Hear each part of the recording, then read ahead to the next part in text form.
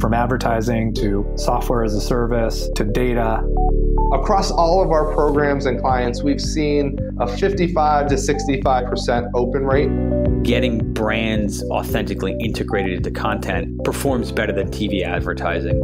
Typical lifespan of an article is about 24 to 36 hours.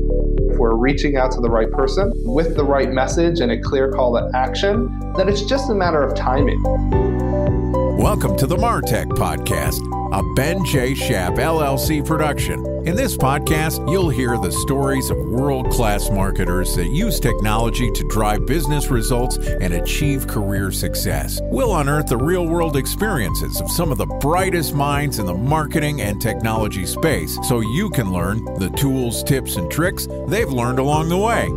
Now, here's the host of the Martech Podcast, Benjamin Shapiro. Welcome back to the Martech Podcast. Today, we're going to dive deep into a marketing channel that is making a comeback in the digital age direct marketing. Joining us is Ron Jacobs, who is the president of Jacobs and Clevenger, which is an independent creative communications firm rooted in strategy, technology, empowered and fixated on developing great user experiences that enable customer decisions. Outside of his role at Jacobs and Clevenger, Ron is also the author of the book Successful Direct Marketing Methods, which is on its eighth edition. Yesterday, Ron told us a little bit about his view of the role that direct marketing should play in your marketing mix. And today, we're going to discuss tactics that you need to know for optimizing your direct marketing campaigns. Here's our interview with Ron Jacobs, president of Jacobs and Clevenger. Ron, welcome back to the Martech podcast. Thank you, Ben. Great to have you here in our episode yesterday. We bounced around a fair amount talking about what direct marketing is and the difference between direct response marketing and brand marketing. And we got into some of the tactics about how to use email versus direct mail and some channels. Today, I want to talk a little bit about optimizing direct marketing campaigns. So you mentioned that you've made the shift from traditional marketing methods towards using a CRM to understand when a trigger in marketing is happening and figuring out what the channel that you should use based on the marketing objective you're trying to achieve. Tell me a little bit about your optimization strategy now that you have so much data available to you. Well, I think one of the problems we all face, and you just described it pretty well, is that we have small data and we have big data and we have all these wonderful analytic capabilities, which are fast, efficient, and affordable. But we have so much data that I think marketers oftentimes get intoxicated by it. They see the data, but they can't really see the signal from the noise and they try to optimize things that maybe can't be optimized, or they try to make decisions when they're not quite ready to make those. So, as a marketer, we spend a lot of time with clients simply going through the data that they have and trying to identify the optimal data to optimize. So, you brought up a couple of points that I think are interesting. First is the difference between big data and small data. And I actually want to coin the term small data. I'm going to steal this from you because instantly, the second you said it, I thought about running my business and I've run this podcast purely using small data.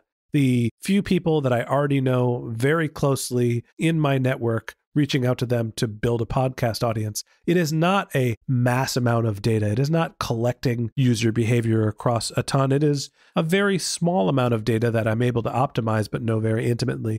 Tell me about how you think about where to use what we're calling small data and where big data is applicable.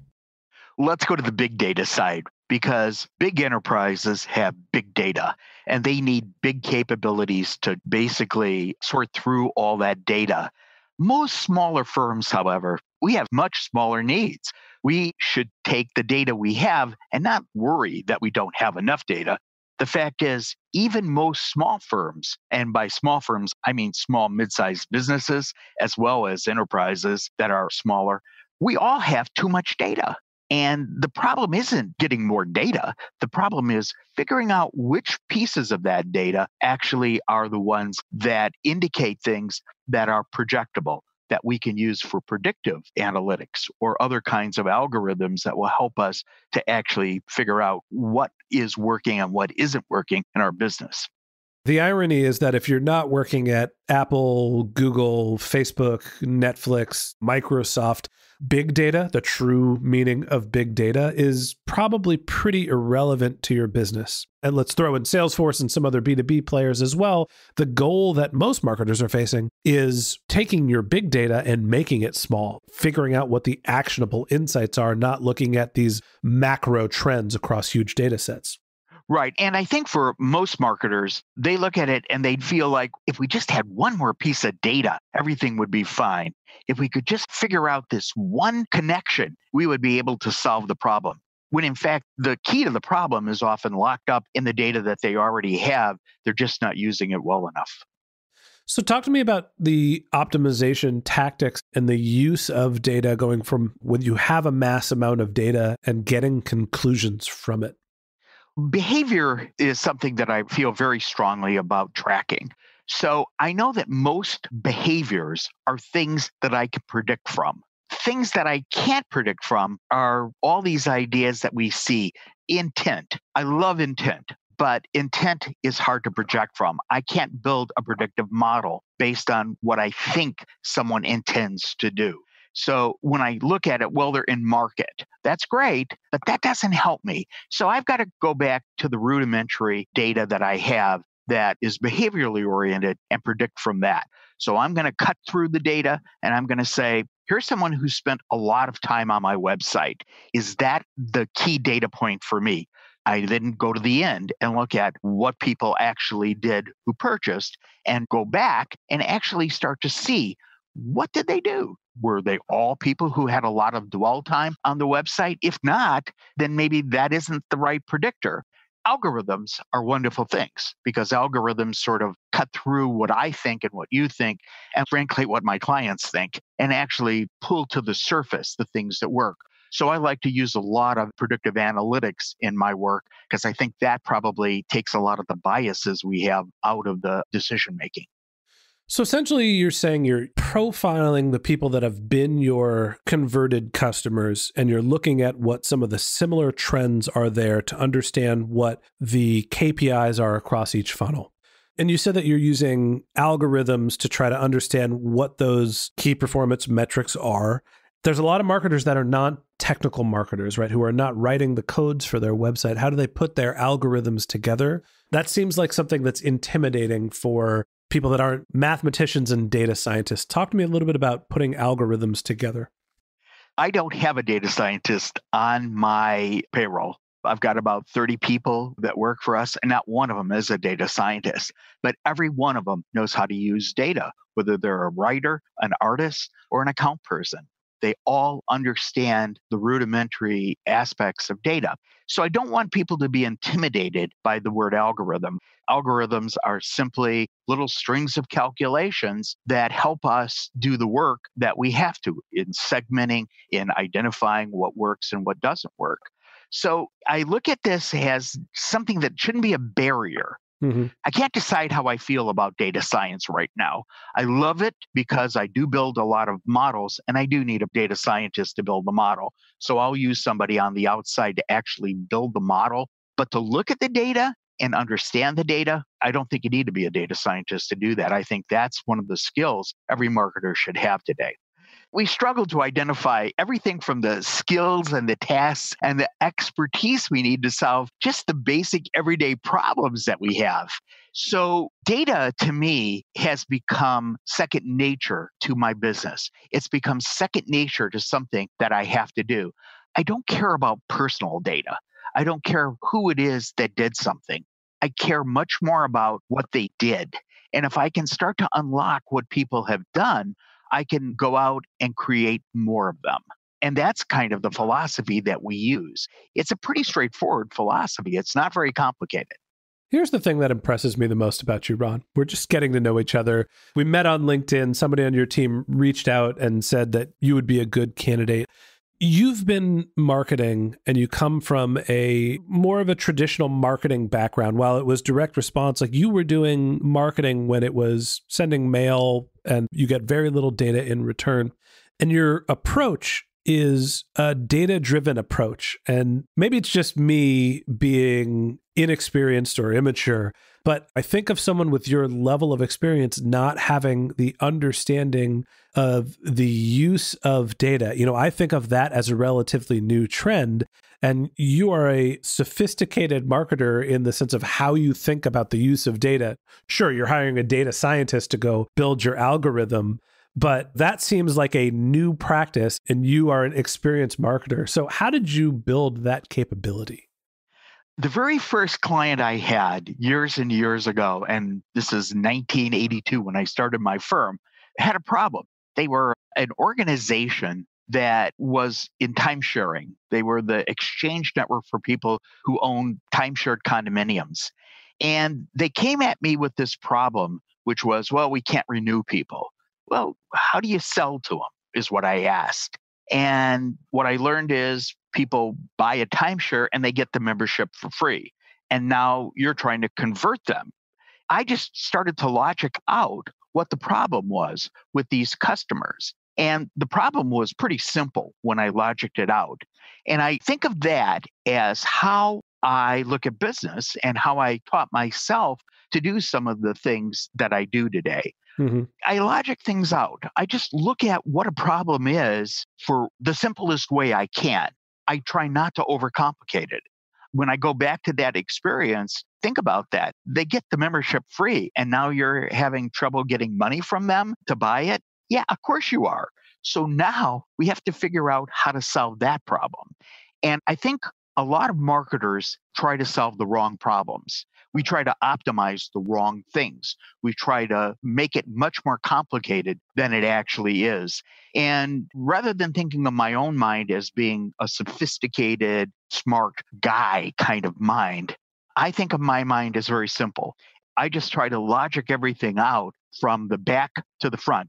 And I kind of mentioned that yesterday in our other conversation. Oftentimes, my starting point isn't at the beginning. My starting point is at the end, and I work backwards to figure out how to get forwards. I appreciate your way of thinking to solve the problem and your ability to simplify. And I totally agree that that is one of the biggest challenges facing marketers. And anybody that I've sort of coached as a marketer that reached out through the podcast looking to learn more about marketing, I tell them that my goal for this podcast is to simplify as much as what the experts in our field understand so it can be accessible. And at the end of the day, there is so much data and so many variables and so many moving parts for marketers these days that the more you can find one problem and try to solve it at a time, I feel like the better off you're going to be. What advice do you have for marketers that are getting into the field looking to leverage data or somebody that's just feeling overwhelmed with solving a problem? Tell me a little bit more about your approach for using data to simplify and solve a problem. Well, my approach is to arm myself with as many skill sets as I can that are current. When I started working in data, there was no way to access data the way we can do it today again, I had a client that was in the data business. And this is sort of what really sent my vision of data down a great path. I ended up having a half a dozen of the largest data companies as my own client. Again, that approach of simplifying things helped me to understand their businesses in a way that they didn't even understand their businesses. So I think my best advice to people is try to think of things in a way that you can arm yourself with the current skill sets, whether it's customer experience or customer journey mapping or data science, metrics, or the ability to interact with technology. Try to understand it not in a way that makes your mind fuzzy and cloudy and fills your mind with a lot of things that are hard to understand, but fills your mind with just the simple rudimentary things. Here's what this does I have a problem. How do I solve it? how do I find a technology that will do that?